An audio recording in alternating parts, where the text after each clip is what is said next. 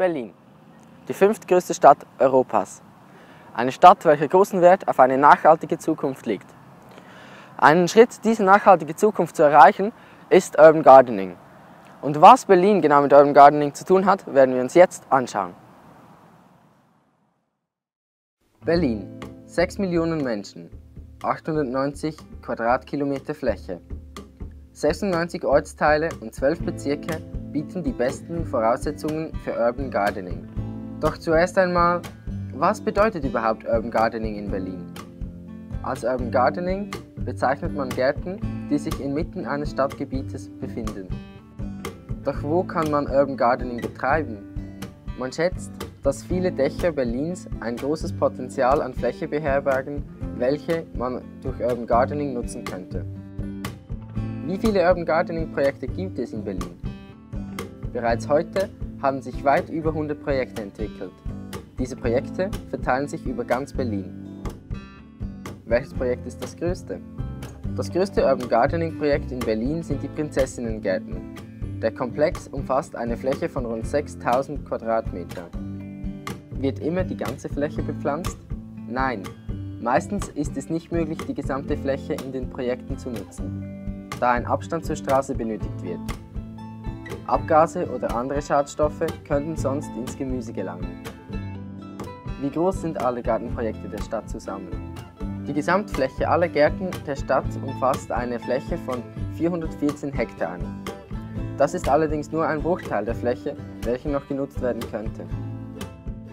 Was lässt sich alles anbauen? Vom Rosmarin bis zur Tomate ist grundsätzlich alles möglich.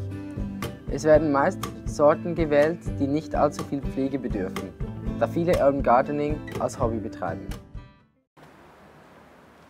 Hier an der Ruheplatzstraße befindet sich das Urban Gardening Projekt Himmelbeet.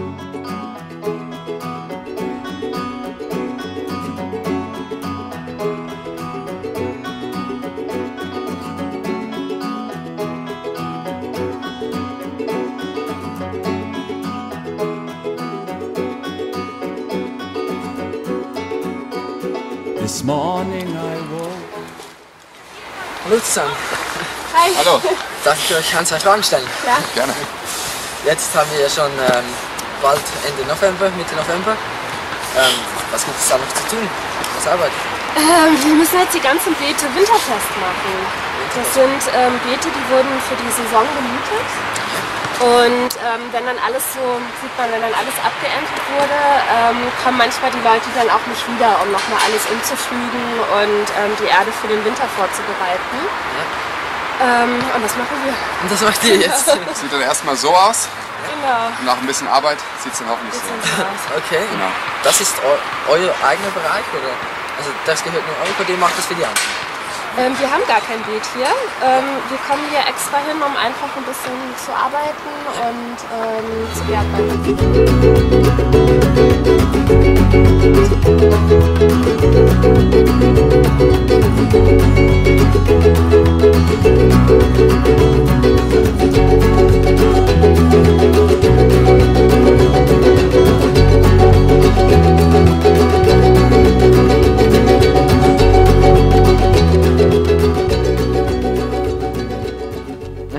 Ein paar Eindrücke im Projekt sammeln konnten, haben wir uns auf den Weg zu Hanna-Lisa Linzmeier gemacht. Sie ist die Leiterin des Urban Gardening Projekts Himmelbeet. Was gibt es beim Himmelbeet? Ja, was gibt es beim Himmelbeet? Wir haben ähm, einen interkulturellen Gemeinschaftsgarten aufgebaut, der Himmelbeet heißt. Da haben wir einmal den Teil mit dem Gemeinschaftsgarten, also wo die Leute vorbeikommen können und bei uns mitgärtnern. Den Ertrag, also die Ernte verkaufen wir, wir verkaufen auch Jungpflanzen. Und dann haben wir auf der anderen Seite einen Teil, wo die ganzen Pachtbeete sind. Wir hatten jetzt in der Saison 2013 140 Pachtbeete, wo Leute aus der Umgebung eine Box, also wir gärtnern in mobilen Hochbeeten, eine Box pachten konnten. Außerdem haben wir ein kleines Café, wo wir ähm, Gartensandwich und Kuchen und was zu trinken anbieten und ähm, machen Kulturveranstaltungen. Also es gibt bei uns Tangoabende, Lesungen und natürlich ganz viel Umweltbildung. Also wir machen viele Workshops für Kitas, Schulen, aber auch für andere Forschungseinrichtungen. Ähm, Gibt es irgendwelche Richtlinien, welchen Sie sich unterordnen oder äh, ökologische Grundsätze, die Sie sagen, die befolgen wir? Ja, also es ist so, dass wir eben versuchen, ökologisch zu gärtnern, beziehungsweise das tun, nicht nur versuchen. Ähm, also wir benutzen nur torfreie Erde, wir benutzen keinen chemischen Dünger. Ähm, dann haben wir eben den Fokus auf alten und regionalen Sorten. Ja, das sind so die Grundsätze. Ähm, die Bevölkerung von Berlin, ist die bereit, solche Produkte zu konsumieren oder sehen Sie auch den Effekt von diesen Produkten oder die Vorteile und überzeugt Sie das damit, dass Sie mehr ausgeben für halt Produkte aus Ihrer Stadt als Produkte aus dem Supermarkt? Ähm, ja, das ist tatsächlich ganz interessant. Also wir sind jetzt hier in einem sozialen Brennpunkt ähm, von Berlin, wo die Arbeitslosigkeit sehr, sehr hoch ist. Also ich glaube am höchsten in Berlin oder am, wir stehen an zweiter Stelle, glaube ich. Und einfach nicht viel Geld da ist, also nicht so viel wie in anderen Bezirken. Natürlich sind wir, die wir das Projekt machen, glaube ich, gehen alle sehr bewusst äh, damit um, was wir konsumieren, wie wir konsumieren, woher die Sachen kommen. Aber es ist, äh, wir sind ja auch ein bisschen stolz drauf, dass die Leute aus der Umgebung hier, die vielleicht wirklich nicht viel Geld haben, dass sie gucken und sagen, ach Mensch, toll, das kostet jetzt vielleicht mehr als um die Ecke im Supermarkt, aber das wächst hier und ich will das mal ausprobieren. Vielleicht auch, weil ich die Pflanze überhaupt nicht kenne oder diese Sorte. Äh, die Tomate habe ich noch nie so gesehen und die schmeckt natürlich auch anders und sie ist halt einfach unvergleichlich frischer dadurch, dass sie zehn Meter weiter gepflückt wurde und nicht aus dem Supermarkt kommt. Welchen sozialen Aspekt befindet sich oder bildet Urban Gardening zwischen den Menschen, die dort mithelfen zu arbeiten, zwischen den Menschen, die das Projekt sehen, daran vorbeilaufen, sich Gedanken machen? Mm, das sind unterschiedliche Dinge, denke ich. Also es geht uns viel um Partizipation, das heißt, dass die Leute mitmachen und ähm, der Garten ist ein Ort, der offen für alle sein soll, also egal, was die Leute für einen sozialen Hintergrund ähm, haben, egal aus welchem Land sie kommen, was sie für eine Sprache sprechen, ob sie jetzt studiert haben oder nicht, ob sie jung sind oder alt. Also im Grunde ist es so, dass wir auch eine Plattform bieten für Projekte und Ideen von den Leuten, die in den Garten kommen, die wir versuchen auch ähm, ernst zu nehmen und dann umzusetzen.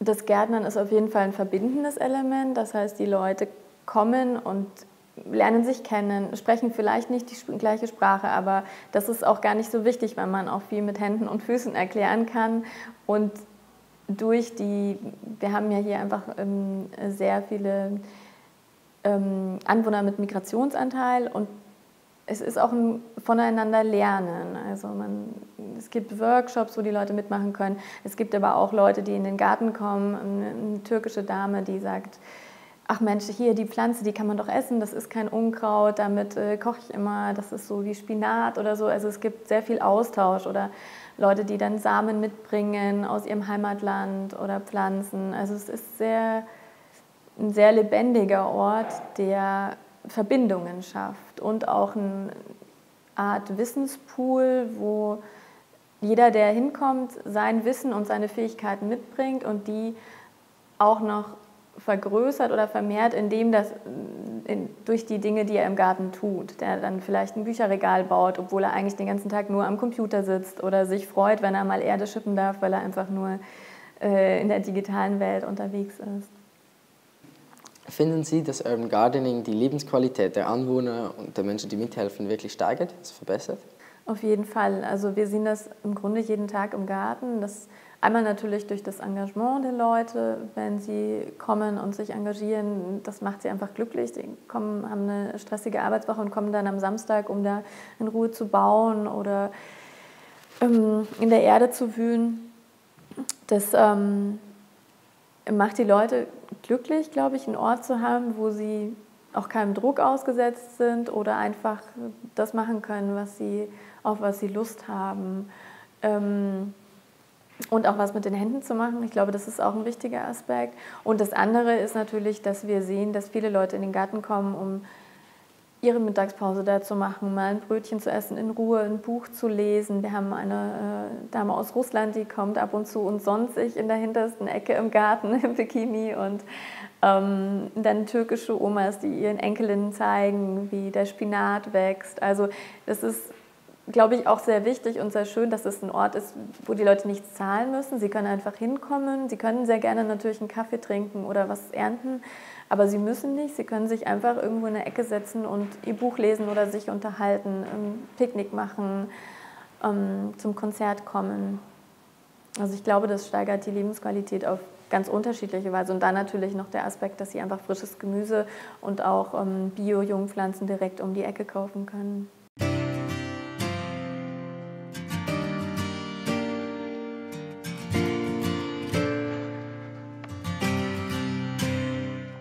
Befinden uns hier auf dem Gelände der Technischen Universität Berlin, um das Ganze von wissenschaftlicher Seite her zu betrachten. Deshalb treffen wir nun die Professorin Katrin Bohn aus ihrem Fachgebiet Stadtentwicklung und Ernährung. Wie weit könnte Urban Gardening zur Versorgung der Stadt beitragen oder der Bevölkerung? Siehst du, und da kommt es schon, äh, da ist schon dieser Unterschied, ähm, wenn man die äh, Gesamtbandbreite betrachtet, die urbane Landwirtschaft betreiben könnte, bespielen könnte, dann äh, schätzen wir in unserer Forschungsarbeit, dass man vielleicht 20 bis 30 Prozent in der Stadt selber produzieren könnte. Das sind aber keine Gemeinschaftsgärtner wie beim Urban Gardening. Das wären dann äh, auch kommerziell aktive Stadtbauern. Sie haben ja bereits erwähnt, dass äh, aktiv geforscht wird in Urban Gardening. Ähm, wo finden Sie macht das am meisten Sinn oder wo forscht man am intensivsten oder will man möglichst produktiv sein oder sich flächenmäßig möglichst ausweiten können? Das urbane Gärtnern wird stark beforscht und man ähm, äh, kümmert sich da vor allen Dingen um soziale Aspekte. Also wie können diese gemeinschaftlichen Gartenaktivitäten zum Beispiel dazu beitragen, dass eine Nachbarschaft sich besser mit dem Außenraum identifiziert. Das ist zum Beispiel das, was wir in dem Projekt, was ich mit TU-Studenten in Marzahn betreibe, beforschen. Ja? Urbane Landwirtschaft beschäftigt sich äh, außerdem auch mit den städtischen Nahrungssystemen insgesamt. Ja? Ein städtisches Nahrungssystem ist das ähm, Gesamtsystem der Vorgänge und Prozesse, die nötig sind, um unsere Städte zu ernähren. Ja? Also von Transport, Verkauf, Erzeugung, Samengewinnung, äh, Abfallaufbereitung, also dieses Gesamtsystem der ähm, Prozesse, die nötig sind, damit Städte ernährt werden können, sind ja städtische Nährung, äh, äh, Nahrungssysteme oder Ernährungssysteme. Und die werden auf einer ganzen Bandbreite von äh, äh, Spezialisierungsrichtungen beforscht. Zum Beispiel ähm, politische Entscheidungen, wie beeinflussen die die Ernährung der Städte? Ja? Ähm, äh, Planungsentscheidungen, wie kann Stadtraum zur Verfügung gestellt werden, ja? wie kann man es erreichen, dass ähm, äh, Nahrungsmittelproduktion in der Stadt genauso ernst genommen wird wie Autoverkehr. Da gibt es ja ganz viele Legislativen, die sich damit beschäftigen. Ja? Also auf dieser Nahrungssystemebene wird ähm, geforscht und dann wird auf der urbanen Landwirtschaftsebene auch geforscht. Also sowohl äh, praktisch und prozesshaft, wer macht das? Und wo macht man das und auf wie vielen Hektar kann man ernten und in einer Stadt, wie würde man das mit äh, Maschinen betreiben? Geht es hier um biologischen Anbau oder nicht? Was ist mit Schadstoffen, die vielleicht in der Luft vorhanden sind? Ja? Die Schadstoffe ist gleich ein gutes Stichwort. Ähm, finden Sie, dass die Qualität von Urban Gardening Produkten schlechter ist als die von konventionell erhältlichen Produkten? Es gibt, äh, wenn man die in der Stadt produzierten Nahrungsmittel genau analysiert. Teilweise den Nachteil, dass diese Produkte mehr mit Schadstoffen belastet sind als andere, die nicht an dem bestimmten städtischen Standort äh, produziert wurden. Da gibt es gerade äh, für Berlin gibt es da eine Studie, die sowas äh, kürzlich untersucht hatte. Es kommt aber a darauf an, welches Gemüse oder Obst dann das betrachtet man meistens bei oder Kräuter und Salate. Ja. Es kommt darauf, um, äh, kommt darauf an, um welches es sich handelt und wo es produziert wurde und was der Vergleich ist. Wenn du äh, im ländlichen Raum an der Autobahn produzierst, sind möglicherweise die Schadstoffbelastungen auch nicht geringer. Ja? Also man muss ganz genau äh, schauen, um, um welches Erzeugnis es sich handelt, aber das ist tatsächlich ein Problem. Ähm, dann ein ganz anderen Aspekt. Ähm, Fettleibigkeit ist in Deutschland ein sehr weit verbreitetes Problem. Ähm, kann Urban Gardening vielleicht ähm, ein Bewusstsein für gesundere, gesündere Ernährung schaffen und ähm, kann dieses Bewusstsein dazu führen, dass die Fettleibigkeit vielleicht sogar abnimmt mhm. oder zurückgeht? Ist eine gute Frage, weil gerade das auch ähm, äh, Teil dieser ganzen äh, Nahrungsmittelproduktion in der Stadt ist. Ja? Da gibt es, äh, gibt es auch Forschung, aber im Moment noch recht wenig, ja, die, die präzise ist. Wenn man auf dem Balkon selber Kräuter anbaut, dann wird man sich den Salat dazu kaufen. Dann wird man also seine äh, Kaufgewohnheiten umstellen. Ja. Ähm, es gibt auch Forschung äh, aus England in dem Fall, in der nachgewiesen wird, dass Leute, die selber in ihren Kleingärten, die ja auch eine Form von urbaner Landwirtschaft sind, aber nicht Urban Gardening, ja, ähm, wenn man in dem eigenen Kleingarten produziert, dass man sich A, über die Sommermonate beinahe ausschließlich von den Produkten ernährt und dass man auch in den Randsaisons ähm, die eigenen äh, Produkte dann durch zugekaufte Obst und Gemüse ergänzt. Ja? Und Grund von Fettleibigkeit, wie das ja in den meisten Industrienationen ist, ist ja zu viel Fett, zu viel Zuckerkonsum.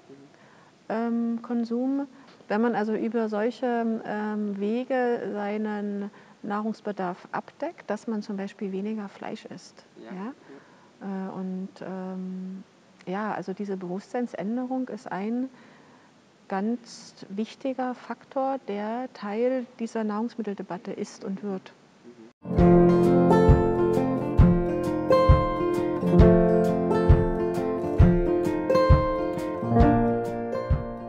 Befinden uns hier am Mariannenplatz in Berlin, wo wir Christian Honnes, einem Mitglied der Grünen Berlin, einige Fragen zu den politischen Aspekten von Urban Gardening stellen möchten. Fördert Ihre Partei Urban Gardening in Berlin?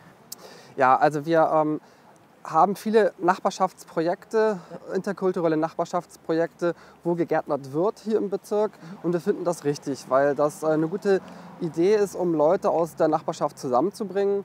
Und ähm, weil es ja auch schön ist, wenn in der Stadt es grüne Flächen gibt, wo man gemeinsam gärtnern kann, als wenn dort äh, bebaut wird. Und äh, wir haben das nicht nur im Wahlprogramm stehen, sondern wir haben hier auch im Bezirk Friedrichshain-Kreuzberg, wo wir an der Bezirksregierung sind, äh, Projekte, die wir unterstützt haben. Hier vorne hinter dem äh, Gebäude dort vorne ist äh, ein interkultureller äh, Nachbarschaftsgarten, der heißt äh, Tonsteine Gärten. Und äh, den haben wir mit unterstützt. Es gab ein Projekt, die Initiative von Anwohnerinnen und Anwohnern, die das machen wollten. Und wir als grüne Fraktion ähm, haben das mit unterstützt und ja, auch mit dafür gesorgt, dass das Ganze jetzt ein erfolgreiches Urban Gardening Projekt ist. Ähm, inwiefern profitiert die ganze Stadt Berlin von Urban Gardening, von diesem Trend, wenn man das so sagen kann? Naja, ich glaube, das muss man unterscheiden auf verschiedenen Ebenen, also wo Berlin profitiert. Ich glaube, äh, Berlin äh, profitiert einerseits ähm, von sauberer Luft. Je mehr Grün in der Stadt ist, je mehr Pflanzen in der Stadt sind, desto mehr Staub, Feinstäube werden von Pflanzen quasi aufgefangen. Also wenn es mehr Bäume gibt, dann wird auch mehr Feinstaub von den Bäumen aufgefangen.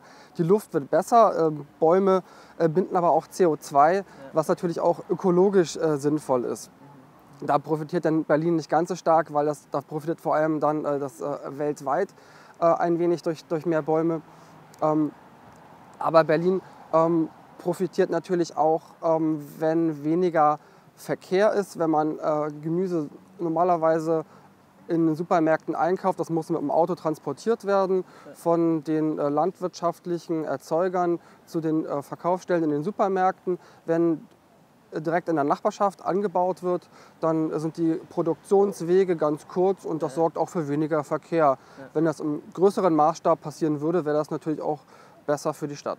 Ähm, auch für Berlin wie auch für andere Großstädte gibt es ein Lebensqualitätsrating, also welches einstuft, wie die Lebensqualität in dieser Stadt ist. Denken Sie, Urban Gardening könnte dazu beitragen, dieses dieses Rating oder Berlin in diesem Rating etwas höher zu setzen? Ich kenne jetzt nicht genau die Kriterien für dieses Rating, aber prinzipiell glaube ich, sagen zu können, dass ja, man fühlt sich, glaube ich, in einer Stadt wohl, wenn man sich ähm, mit den Menschen vor Ort wohlfühlt und wenn man äh, den städtischen Raum äh, gut findet. Und ich glaube, der städtische Raum ist dann interessant, wenn es viel Grün in einer Stadt gibt, wenn es nicht alles nur Beton ist, sondern wenn es eine lebenswerte Stadt ist, wenn Platz ist für Kinder zum Spielen, für ähm, andere Sport machen in den Parkanlagen. Also wenn es Grün in der Stadt gibt, dann ist das schön und Urban Gardening ist, ist eine Form von Grün in der Stadt und ich glaube, das, deshalb trägt es dazu bei, dass eine Stadt ähm, beliebter wird und dass man sich in einer Stadt äh, besser wohlfühlen kann. Aber Urban Gardening trägt ja auch dazu bei, dass die Menschen untereinander ähm, stärker ja, oder stärker miteinander äh, zusammen etwas machen. Also in Friedrichshain-Kreuzberg wohnen Menschen aus 180 Nationen der Welt. Das heißt, es sind viele verschiedene Kulturen und in diesen interkulturellen Gärten, da treffen die aufeinander. Dort äh, gärtnern sie gemeinsam, lernen unterschiedliche Kulturen kennen und ich glaube, dass auch deshalb äh, Urban Gardening eigentlich gut ist, damit sich die Menschen wohler fühlen in einer Stadt. Hm, das funktioniert so, verschiedene Kulturen zusammen in einem Projekt. Da ist man sich eine Meinung da sind sicherlich nicht immer alle einer Meinung, aber ähm, sie lernen sich kennen und sie lernen sie natürlich auch in ihrer Verschiedenheit kennen. Ähm, die Berliner Bevölkerung ist die ja bereit, irgend, zum Beispiel etwas zu investieren in äh, Urban Gardening oder, oder sagt sich sogar, wir wären bereit, solche Produkte zu kaufen, auch wenn sie etwas mehr kosten würden? Oder ist das noch nicht so das Thema? Also ist mehr Supermarkt fertig? Also ich glaube, dass es gibt ja hier in Berlin oder auch gerade in Friedrichshain-Kreuzberg schon auch eine große Szene von Menschen, die sich biologisch ernähren. Es gibt wahnsinnig viele Bioläden und auch Bio-Supermärkte hier in der Stadt. Ähm, trotzdem ist Urban Gardening für den Bereich, äh, in dem Bereich eher ein Randphänomen, weil die Leute, äh, die auf den wenigen Flächen aktiv sind, die nutzen diese Produkte meistens selber. Wenn man das im großen Stil machen würde, könnte ich mir vorstellen, dass das viele Leute interessant fänden. Also ich selber habe schon Honig gegessen, der hier in der Stadt von Bienen äh, erzeugt worden ist. Ähm, es gibt ja auch Internetportale, wo man äh, sich angucken kann, wo man selbst ernten kann. Also ich, es gibt zum Beispiel eine Straße in, im nördlichen Kreuzberg, wo äh, Haselnüsse angepflanzt sind und ähm, man diese Haselnüsse dann selber ernten kann. Und das habe ich auch schon gemacht. Die schmecken eigentlich ganz normal wie, wie Haselnüsse. Ähm, aber ob das im großen Stil möglich ist, das kann ich nicht wirklich beurteilen. Nun wissen wir, Urban Gardening verbindet Menschen, fördert soziale Kontakte und das Bewusstsein für Lebensmittel und kann ein interessantes Hobby sein. Doch ist es auch möglich, Urban Gardening kommerziell zu nutzen? Wir befinden uns hier vor den Prototypen eines Containers von Efficient City Farming, einem Projekt aus Berlin.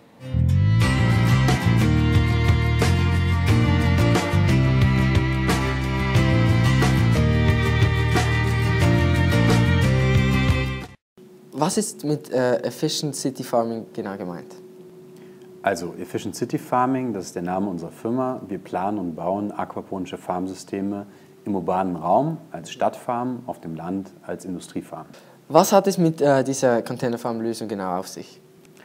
Also die ECF Containerfarm ist unser Prototyp, in dem wir ein aquaponisches System eingebaut haben. Aquaponik ist die Kombination aus Fischzucht, Fischaufzucht und Hydroponik, Pflanzenanbau im Wasser. Das Ganze ist ein Kreislaufsystem, in dem die Fische den natürlichen Dünger für die Pflanzen geben. Die Pflanzen verwerten diesen Dünger, wachsen dadurch hervorragend und somit kann man Fische und Gemüse in einem Kreislaufsystem sehr ressourcenschonend anbauen. Diese äh, Containerfarm-Lösung, ähm, wie ist die genau aufgebaut? Also eben Fische und äh, das Produkt oder die Hinterlassung der Fische äh, kann man zum Düngen verwenden, klar, aber der Kreislauf, wie ist äh, wie ist da genau der Ablauf? Also das Ganze funktioniert so. Man hat äh, ähm, die Fische in einem Becken, ähm, die Fische werden gefüttert, ähm, das Wasser mit den Ausscheidungen äh, durchläuft zwei Filter. Das eine ist ein Sedimentfilter, da werden also die, die Schwebstoffe im Wasser ausgefiltert auf mechanische Art und Weise. Der zweite Filter ist ein Tropfkörperfilter, in dem die Oberfläche äh, vergrößert wird. An dieser Oberfläche sitzen Mikroorganismen, die das Ammonium, also das ist der Pipi der Fische, umwandeln in Nitrat und Nitrat ist klassischer, klassischer Pflanzendünger. Der wird verwendet dann in der Hydroponik ähm, zum Pflanzenanbau. Was kann in solchen Containerfarmen, wie wir auch bereits vorhin gesehen haben, vielleicht in Prototypen, ähm, alles gepflanzt werden? Oder was wird dort? Alles Mögliche. Also man kann äh, natürlich Speisefisch herstellen. Es gibt verschiedene Fischsorten, die sich dafür eignen. Ähm, wir arbeiten mit, mit äh, Buntbarschen momentan, wollen nächstes Jahr mit Barramundi arbeiten. Und in Sachen Gemüse ganz, ganz viel. Es gibt über 400 Sorten, die man ähm, in einem hydroponischen System anbauen kann. Auberginen, Zucchinis, Tomaten, Gurken, äh, Chilis, äh, Kräuter jeglicher Art, Salate. Ja. Inwiefern werden die Produkte in einer Containerfarm ökologisch angebaut? Also es ist so, dass generell für hydroponische Produkte kein, kein Siegel vergeben wird. Das hat äh, also kein Biosiegel. Ähm, ich sage, wir sind einen Schritt weiter als das Biosiegel, weil als Beispiel, wenn du so eine Tomate nimmst, ne, die ist vielleicht nach den Richtlinien äh, der, des Bio-Labels angebaut. Aber wenn du weißt, dass die eben auch aus Marokko kommt, dann fragt sich, wie biologisch ist eigentlich diese Tomate. Ne? Ähm, in dem Label wird festgehalten, dass Produkte in Erde angebaut werden, werden müssen, zusätzlich zu diesen ganzen anderen Richtlinien. Bei uns ist das der einzige Unterschied. Die Pflanzen stehen im Wasser.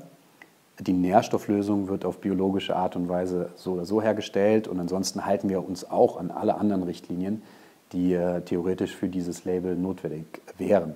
Ich glaube, dass das ein Politikum ist und dass das sich in den nächsten Jahren auch ändern wird, dass man eben auf hydroponische Anlagen auch ein Label bekommen kann. Ähm, wer sind dann die äh, potenziellen Abnehmer für diese, diese Containerfarm-Lösung? Also die Containerfarm an sich ist ja nur ein Produkt. Ähm, wir planen und bauen große aquaponische Farmsysteme Abnehmer dafür sind im Kleinen ähm, Communities, also dass man sagt, äh, man schließt sich zusammen und man hat einen modernen Schrebergarten, in dem man sich selbst sozusagen äh, Fisch und Gemüse anbauen kann für den Eigenverzehr. Äh, Im Großen ist es so, dass es ein, ein Geschäftsmodell ist, ähm, ein nachhaltiges Geschäftsmodell, äh, in dem man im großen Stil dann auch in der Stadt ähm, anbauen kann und dann im Direktvertrieb an Städter die Produkte verkaufen kann. Wenn man auf Ihrer äh, Webseite her äh, herumschaut, so findet man immer wieder das Schlagwort Wasserverbrauch. Ähm, können Sie uns dies auf Ihre Lösung bezogen genauer erläutern? Also so, dass ähm, wenn man jetzt äh, das, das globale Bild sich betrachtet, dass 70 Prozent des von Menschen genutzten Süßwassers in der Landwirtschaft verbraucht wird.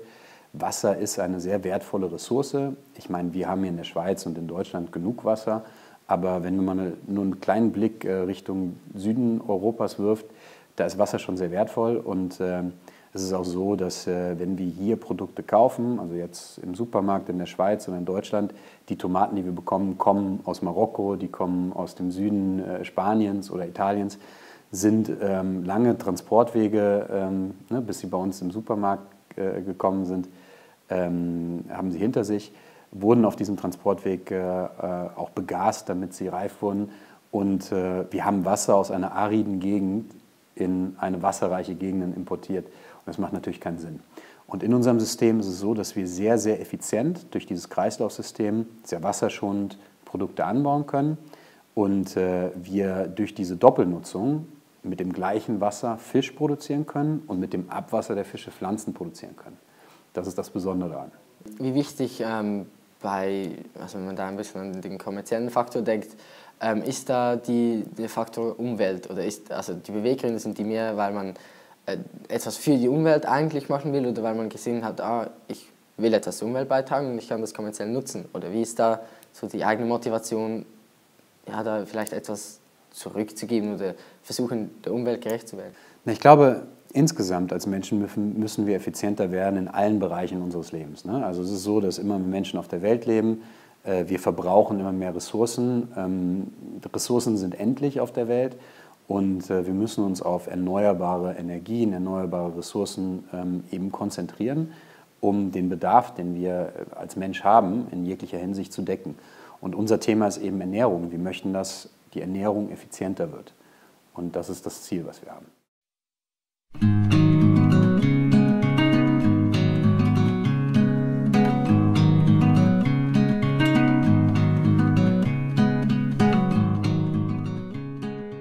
Ich befinde mich hier vor der Senatsverwaltung für Stadtentwicklung und Umwelt, wo wir gleich im Anschluss ein Gespräch mit Frau Renker, einer Mitarbeiterin der Senatsverwaltung, führen werden. Für was ist Ihre Arbeitsgruppe genau zuständig? Diese Arbeitsgruppe, wo Sie jetzt hier sind, gehört zu einem Referat, was ähm, zuständig ist für das Stadtgrün überhaupt und hier wiederum für alles, was die Planung und den Konzeptionen von Freiraumplanung in Berlin äh, gemacht wird. Dann Urban Gardening ist ähm, ja in gewissem Maße auch nicht ziemlich billig und stehen auch nicht allen die Flächen zur Verfügung. Ähm, gibt es für äh, Urban Gardening ähm, Fördergelder? Also gerade in den Bereichen, in denen es äh, sozial schwierige Strukturen gibt, wo es äh, viele Migranten gibt, wo es, äh, ähm, sagen wir mal, der, der Bildungshintergrund eher niedrig ist. Dort sind ähm, in, in Wedding, in Kreuzberg, in Spandau sind Quartiersmanagementgebiete eingerichtet worden. Die, werden, die haben auch ein finanzielles Budget ja. und die fördern Projekte, insbesondere die diese Quartieren eine Stabilität geben soll und ihnen sozusagen soziale Sicherheit auch geben sollen. Mhm. Und in, da kann es sein, dass zum Beispiel ähm, eine Fläche, die sonst immer ähm, total vermüllt war und runtergekommen ist, dass man aus den Nachbarschaften heraus eine Gruppe zusammenfindet und sagt, okay, wir versuchen jetzt hier mal so ein Urban Gardening Projekt zu installieren. Und die können finanziell unterstützt werden. Über diesen Weg okay. es, gibt es keine Förderung dessen, sondern es gibt sozusagen die Möglichkeit, in den Quartieren über andere, über, also über sozusagen soziale Stadt als ähm, großen Titel, den wir hier ähm, haben, ähm, dann doch Mittel zu bekommen. Direkt hier neben dem Moritzplatz befinden sich die Prinzessinnengärten, eines der größten Urban Gardening Projekte von Berlin.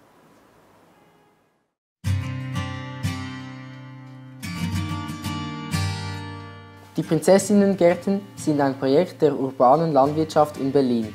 Sie haben sich das Ziel gesetzt, einen Ort für gemeinsames Gärtnern und Austauschen von Gartenbauwissen zu werden, was sie weitgehend auch geschafft haben.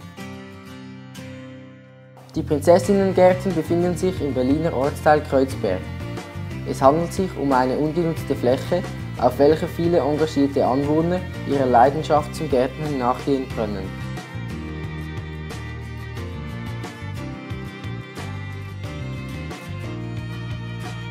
Es werden über 500 verschiedene Gemüse- und Kräutersorten mitten in der Stadt angebaut.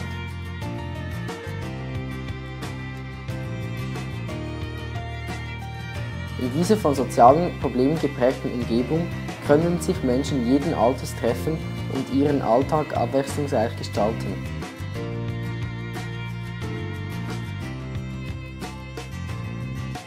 Außerdem befinden sich im Garten auch ein Café, in welchem auch die Produkte aus eigenem Anbau in vielfältiger Form zu verzehren sind.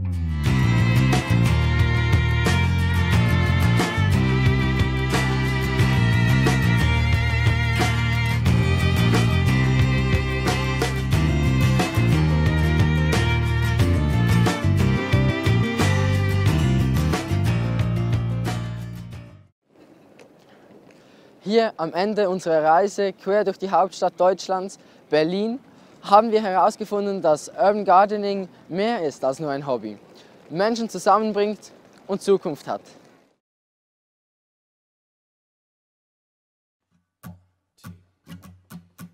This